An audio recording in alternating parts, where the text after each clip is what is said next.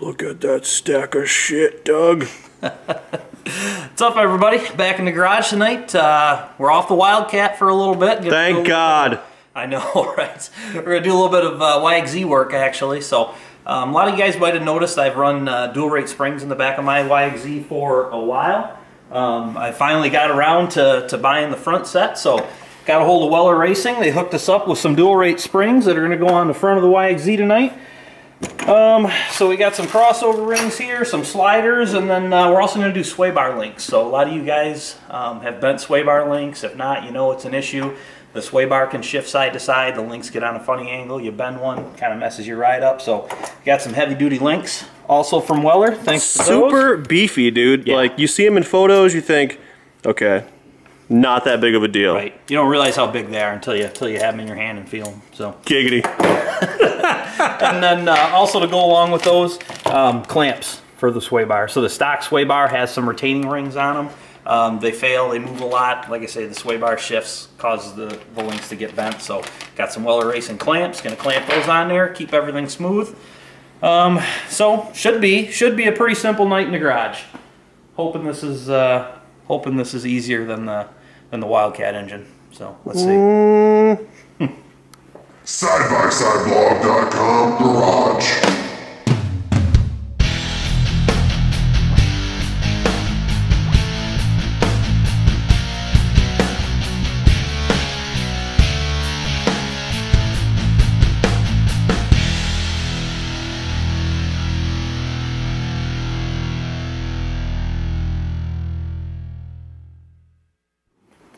Truck springs, dude. Yeah. What are those off of? 97 Trailblazer? 350, I think. Um, so I guess uh, I'll admit I haven't actually had the front shocks off of this thing yet, but I'm looking at it. How I think it's going to happen is I think we're going to take this hood off with these two screws, and then there's going to be a couple screws, a couple push pins under here. We can kind of pull this piece back so we can get to the upper bolt. Lower bolt's real, you know, real easy to get at. Looks like a 14 and a 17. So again, this should be easy. You're going to want to go ahead and jack the machine up before you take the shock bolts out or attempt to take them out. That'll What? hard. So I say you just hit it with an impact, dude. That should come right out, no problem. run them out. I mean, if you do it one at a time, you probably get away with it. Front end's so stiff on this thing, bro, that it just holds the other one up. right. I think the front on these is actually a little undersprung. I haven't looked at the I haven't, Yeah. I haven't looked at the rates that uh, Weller sent, but I believe so. The rears are really really stiff on these. You know, if you own one, you know, right? So those are way oversprung. So the rear is definitely a little softer after the respring. The front supposedly is a little undersprung. So I'm interested in trying it out. Hopefully it balances the machine a little better. I'm hoping it, you know, maybe jumps a little better. Not that it jumps bad right now. The dual rates on the rear were a big help with the bucking, but I'm hoping, you know, the front maybe pops a little better. So Doug Popperfield. we'll see. Yeah, the front end kind of flopped on the uh, Silver Lake jumps like real bad. Like it came down like a like a shitty bike. The front end, yeah, the front end uh, bottomed out a lot easier than uh, than it should have. So All right, I think you were Okay. getting somewhere. So much for that push pin theory. This ain't no You know, BRP, bro. I was just guessing. So we God, got that's like right in the way of that. 110 there. That's just annoyingly covered by this yellow fender. So You don't know what? Maybe we'll. You probably bent this entire front subframe, bro. I wouldn't be surprised. This thing's kind Your nose dive. Nah, it's good. She's tough. I'm sure that's the way it's supposed to be. So after five more seconds of thinking about this, we're not going to go unbolting yellow plastic to get at this thing. So there might be a need to remove this in the future. So I'm just going to go in with a die grinder and buzz this piece of plastic out because you can't see it anyways. So Dude, no. this is dumb. See how this works. That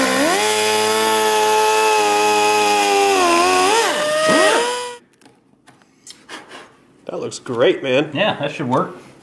So now I think we'll be able to. All those little shards in there, bro. Yeah. No, we should just be able to take a nut driver. Look at that. Hell yeah, dude. You're welcome, Yamaha. If you want to go ahead and integrate that into the 2018 model. 2018 four seater, heard first at sidebysideblog.com. Turbo.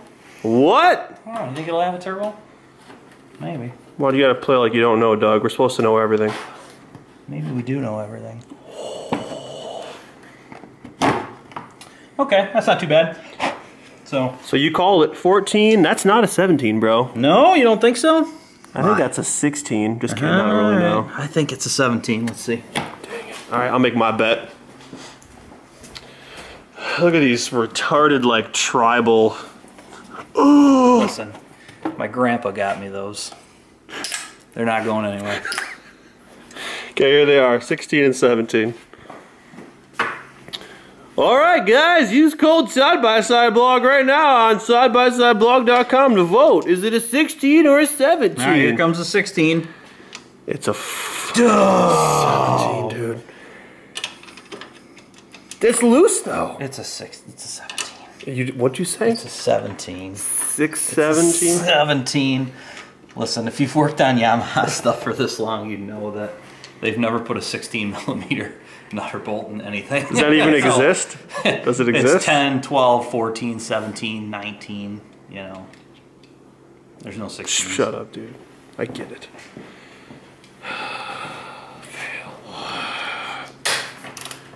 Step one, loosen bolt on upper A-arm mount. Wait, no, crap. Upper shock mount. You can loosen the upper A arm if you want. It's not going to be a lot good. What if you're a wildcat? Ease up all that pressure from the bent A-arm. Right, right, right. Real Should've got an important electronic footage. impact out for this.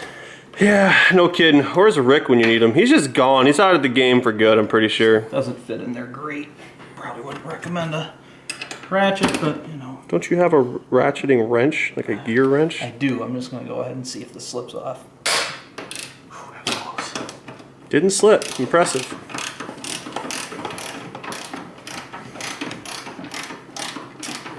Oh, Rick. Is he gone? I don't know. Don't tease people, dude. He's, he's done. Uh, I heard some rumors, but yeah, I don't know. Never know with that guy. You really don't ever know? I feel like I know on this one, but it's all right. We're slowly integrating 1000cc Seuss as a Rick replacement. I realize he doesn't have the same tenacity and anger. He's on the total opposite end of the spectrum when it comes to anger. Yeah, he doesn't get angry. No. All right, so step two-ish. Yeah, I lost track of the steps we're on. Doesn't really matter. Lift the machine. This will be exciting footage. Yeah, baby.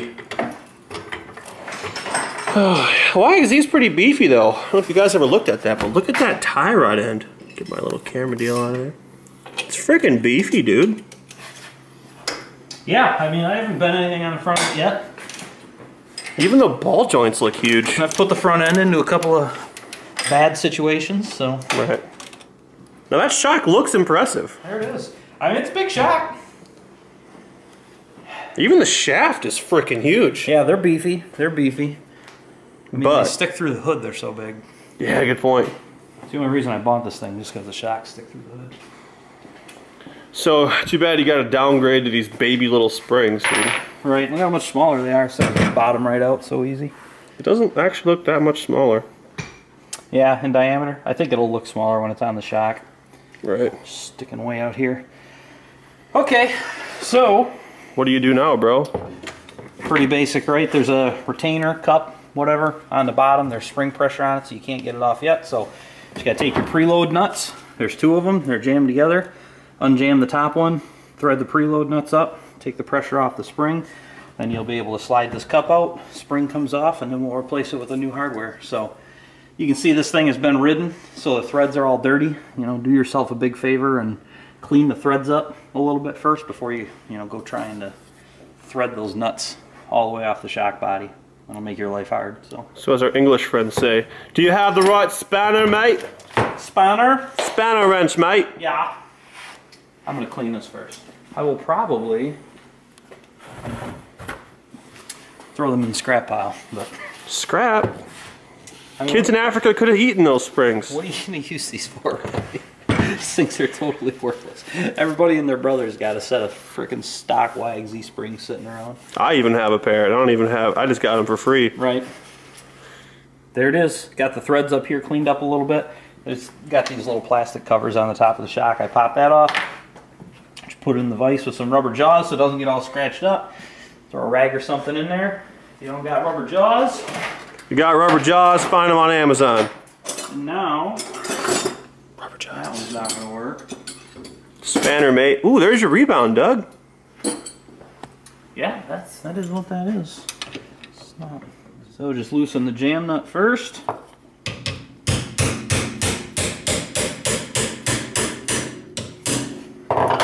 Started to go. Yep.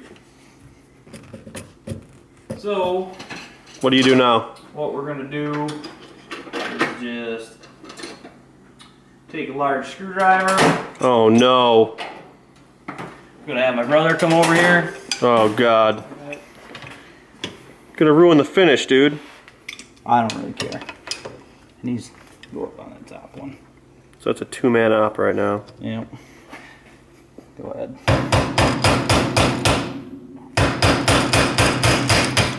There we go. Okay, good, thanks. Still hear a little dirt in there. Yeah, I was just gonna say that. Even with the clean thread, still sounds like monkey poop. Holy frickin' preload, Batman. Come off. There's quite a bit left. You're gonna end up touching that other one. For those of you still watching, Doug has not actually taken the preload off the spring yet. We don't want this to be like one of those shows on TV where they just, you know, have a 30 second commercial break. You come back and they've done two and a half weeks worth of work. Right. You know? Well, we don't actually have commercial breaks because I don't allow the in-video ads because that's annoying. And I'm probably losing out on a bunch of money not doing that. I think everyone appreciates that. So you're welcome, fans of Side by Side Blog. We haven't totally sold out yet. Oh, oh go. finally! You can tell by the amount of dirt flying everywhere. So just get yourself some space. Push the bump stop down. That's got a cutout on it, right? So just Twisty poo. slide that out of there. You should let that fucker twang, dude. I don't really I'm- want it to twang into the Just side of the twang it, bro. Or my leg. that wasn't as bad as I thought it might have been. Why don't you run without without springs? Annoying though. you Save a lot of weight, probably. Oh, good call. That's why I keep you around. And this could be your spring. BASF 7. Wow, BASF for real? Yeah. Wow. Didn't know they're in the elastomer game. Now you know. Okay, so um, we're gonna take a few minutes to really clean these threads up good. Because like I say, these got to come all the way off, and then we got you know, um, or actually we're gonna reuse the. I'm sorry, we're gonna reuse the nuts. So we're just gonna put the crossover rings on, but crossover rings got to thread all the way down this. Um, so we're gonna clean the threads up real good. This little shock guard here, not exactly sure, you know, what they what they call that thing. I assume it's just to keep the spring from rubbing on the shock. I don't know why when your spring's this big around, but that's got to come off because we got a shock slider, a spring slider that's gonna go on there. So, all right, everybody. Ooh. So there you go. That's off. Garbage. Look, at we didn't even really scratch things up. Dang, dude. Hella Looks good. clean. Okay, so now we're gonna clean.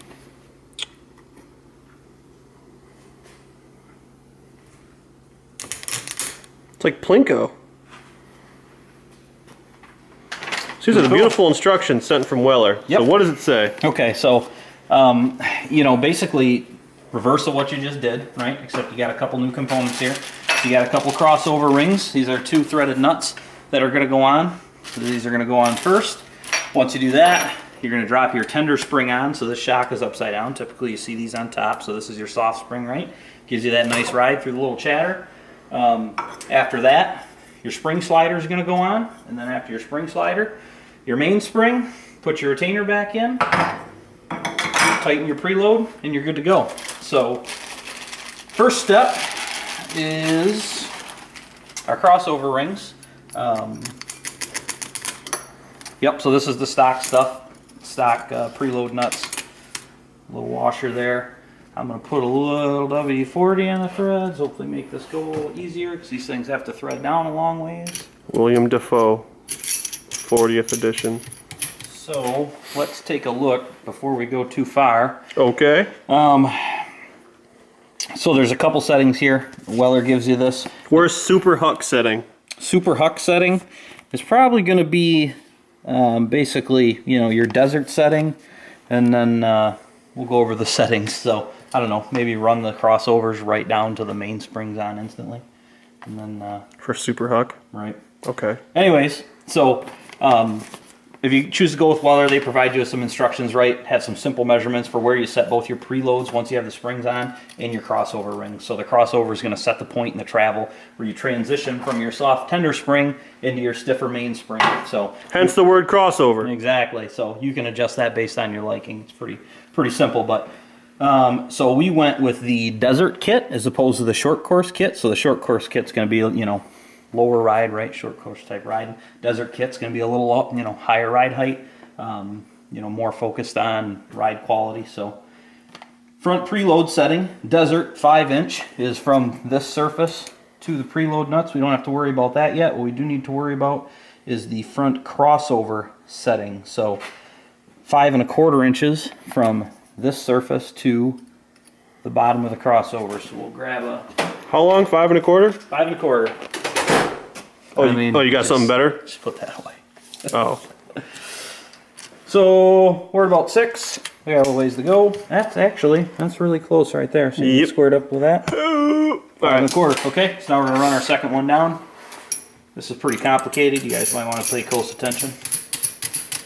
Just a lot of finger finger spinning. Okay, so I'm gonna go ahead and start at their recommended setting for the crossover because that's what I did on the rear and that worked real well. So grab your spanner wrenches or screwdrivers or whatever you have and just uh, Hopefully with these beautiful parts, you're going to use proper spanner wrenches. right. If you got them, that would be preferred. Span them if you got them. We're just gonna. Okay, so now Tender render springer. tender spring. So you know these things got some letters printed on them. If uh, you're OCD like I am, you, you know, can put them on so they face up. Doesn't really matter. And then the slider is gonna go. Is that how the slider goes? Should be. I think.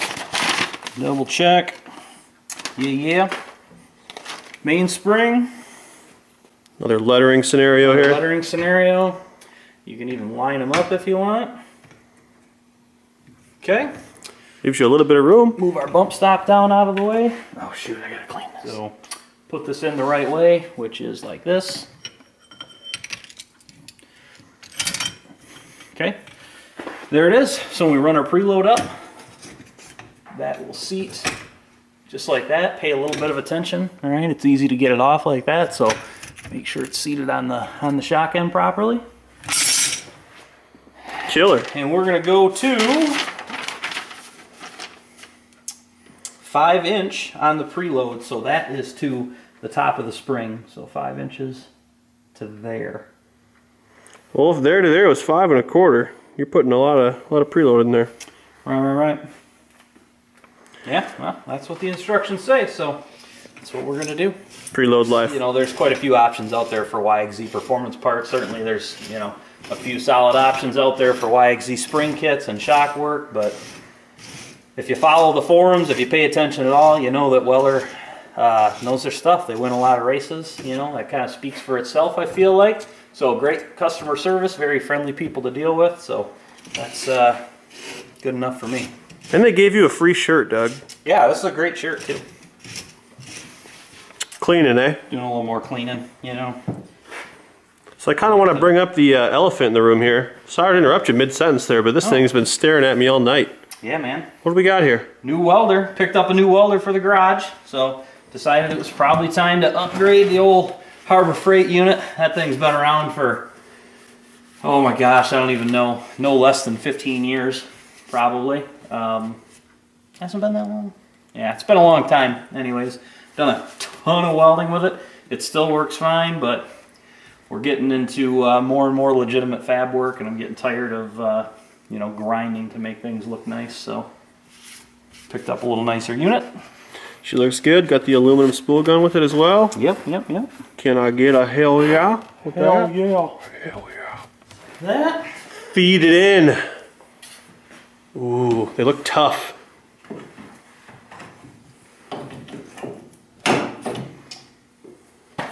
There you go, man. For the most part, grab your bolt. Nice.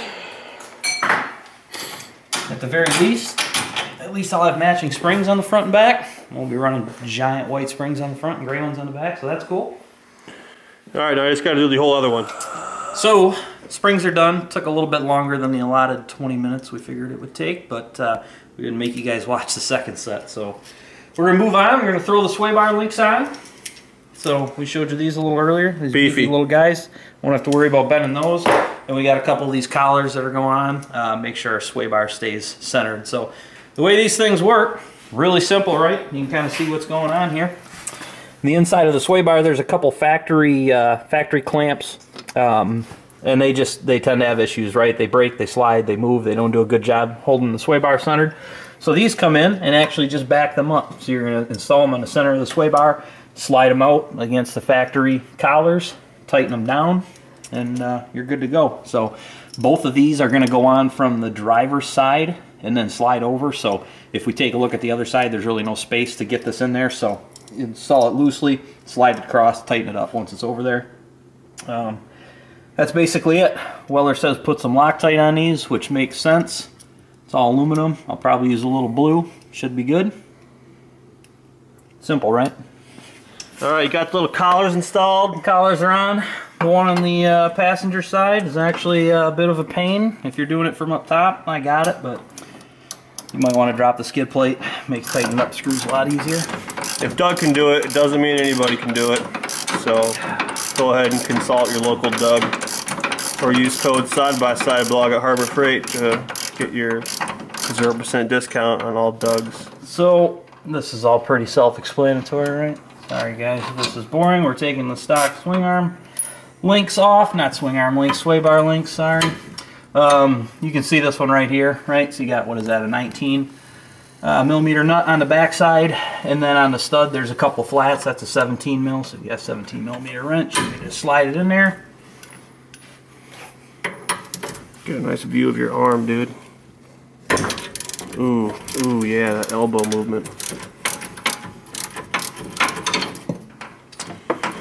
Man, what are you doing with this exhaust, dude? We're gonna get that thing out of here soon. We got a pretty cool exhaust coming for this thing, so I don't know if I want to let the secret out yet, but You guys might shit a brick, that's what I'm trying to say. literally, And it's not literally. it's but- still just a regular exhaust, no turbo attached to it, but sorry. So I don't know. Stock links are in pretty decent shape. They're They look pretty good. Yet they're pretty tight, but how can we utilize those on the Wildcat? It's gonna be sweet, dude. So we're just gonna do something like this. Oh, you know what? Actually, so these links are a little bit longer. Means it's gonna rotate your sway bar up a little bit. That's not a big deal. Doesn't actually change the way it works. Um, but in order to do that, we're gonna have to go to the other side and loosen the other link. So, Amateur hour supreme. right. We're not gonna cut it though. Why not, Doug? Why wouldn't we cut that? That would be something that some other YouTube channels might do.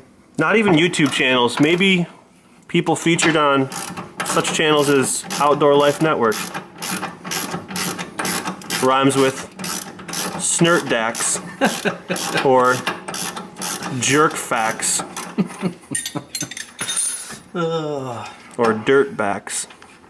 Was that almost racial? A dirtback? Dirtback.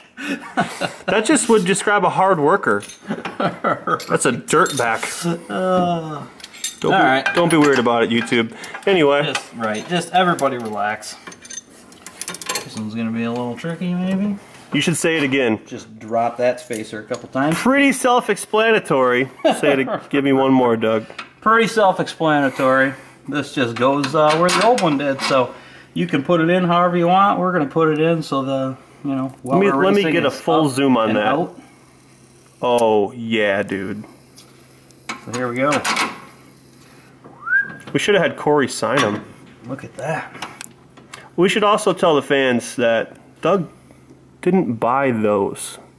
No, that's true. These are uh, sponsorship item from from Weller. So thanks guys for the for the help. We certainly appreciate it. Looking forward to running your stuff and I mean that's not going to bend. So No, he did buy the springs though. yeah, I mean I spend a little bit of money on this thing. Not always just begging for free parts. Look at that technique on the application. There it is. It's officially Weller Racing Edition. So we got our springs on the front, we got our springs on the back, we got some Weller sway bar links back here, we got some Weller sway bar clamps. So hopefully added a little comfort, a little durability. Hell yeah. Testing them in uh, Glamis here in a few short weeks. So looking forward to it. Nice parts, like them a lot. So can't go wrong with these guys, man. They're well known, obviously, winning a lot of races, quality parts, good people. So do it.